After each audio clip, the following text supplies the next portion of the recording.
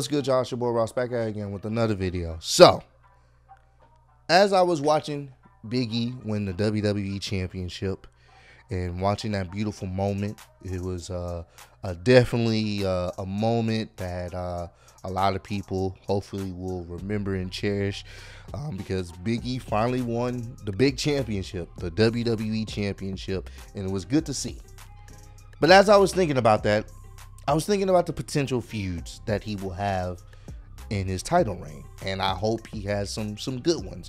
We all know Bobby Lashley is not done with him. He's gonna try to regain his title, and hopefully they book it correctly and have Biggie win and retain his title. So I could see them doing a promo between those two. Well, not a promo, but like a a storyline segment between those between Bobby Lashley and uh, Biggie. So I could see that happening for a little bit, but I wanted to really think about long term.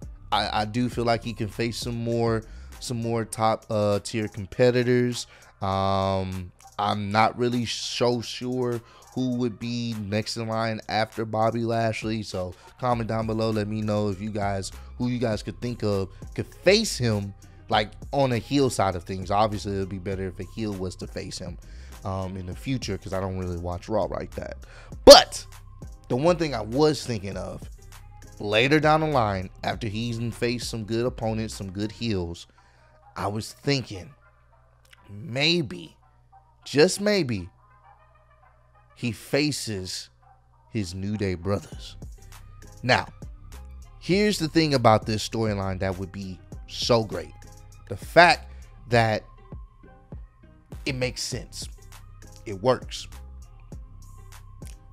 Let's let's break it down. Kofi, one of the first New Day members to actually get the WWE championship. He had the championship. They were they were behind him every step of the way. It would make sense for him to want to regain the title. And Xavier Woods, the guy that's had both of their backs, time in and time out, never actually got got the title. And I'm pretty sure he would love to be a WWE champion as well. If you're in the company, I would think you want to be WWE champion at some point. So, imagine that. Kofi trying to regain the title, Xavier actually trying to win his first WWE championship. I think that's that's a nice little storyline just on its own. If you were uh, if you were just to keep them face faces, but I think it works better if one of them turn heel. Now you can go Kofi. Maybe have Kofi go heel and be like, you know what?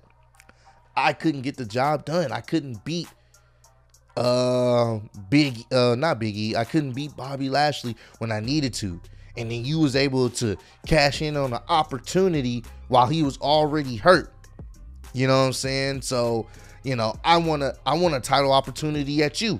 You know, they they can come up with some type of storyline to create that dissension with Kofi, or they can do it with Xavier.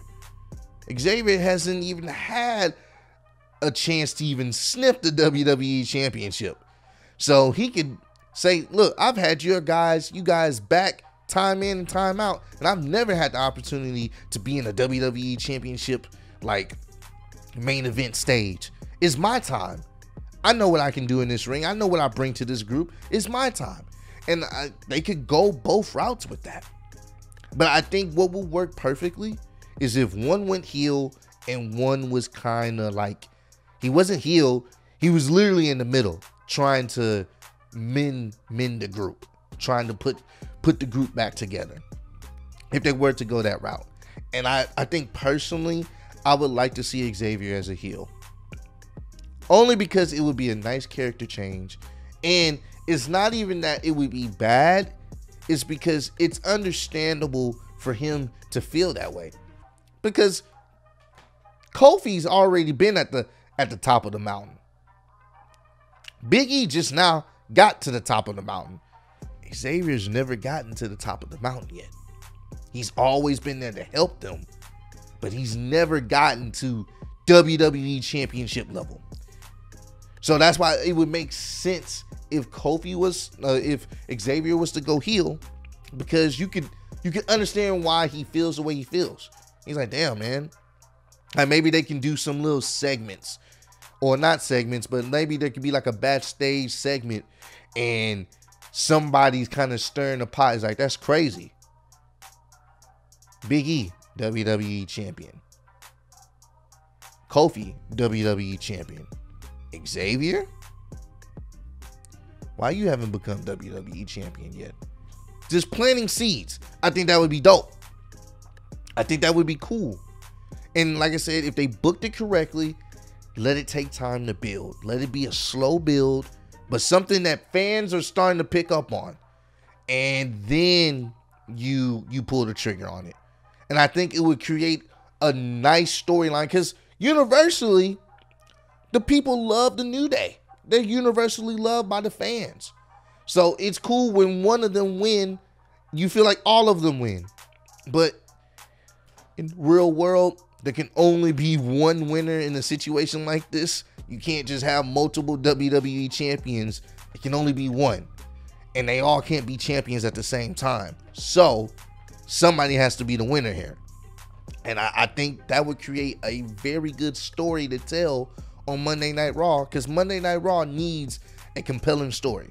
SmackDown's good. They're they're straight. Anything that Roman's involved in, usually the storyline is pretty great. They also have some sideline stories that are pretty serviceable. Raw needs a good story to hook you in. And they've started with Biggie being the new champ. Hopefully they continue, like I said, with the Bobby Lashley feud. I think that'll be pretty decent. And other potential feuds with heels that, you know, hopefully they're able to put on some good matches. And like I said, I want them to, if they do do this, to do the one of the members turn on Big E storyline. I think they should wait. Wait for it to kind of, you know I'm saying, just like his title reign is really setting in and he's, you know, becoming a legitimate title holder. Like he, you know, Big E is he's kind of hard to defeat. And if they book him that way, I think that'll be cool. That's dope. It works. And then you go with the storyline. And what better way to catch Big E off guard than one of your best homies, your best friends, attacking you from behind, stabbing you in the back because he feels like it's his time. I'm all for it. I'm all for it. Who knows you better than your one of your best friends? Who knows you better than him? That's an easy, that's an easy way to set that storyline up, man. So comment down below. Let me know. Would you guys be interested in like one of the New Day members turning on Biggie to ultimately start a feud for the title? Honestly, uh, for Big E's championship. Honestly, I would love to see them at some point, maybe in a triple threat match. I think that would be pretty cool. But like I said, comment down below. Let me know if you guys would be interested in a storyline like that. Or if you guys could come up with something better involving the New Day. I, I just think if you want to have a great storyline for his title reign involving Kofi, involving Xavier in the title picture, not only would it get Xavier in a main event exposure, but I think they would put on some some pretty great matches because they know each other. So I think those matches would be great. So comment down below. Let me know if you guys agree with me on that point. But I appreciate all the love and support. Road to 60K. Appreciate y'all kicking it with me. I'll see y'all on the next one. Peace.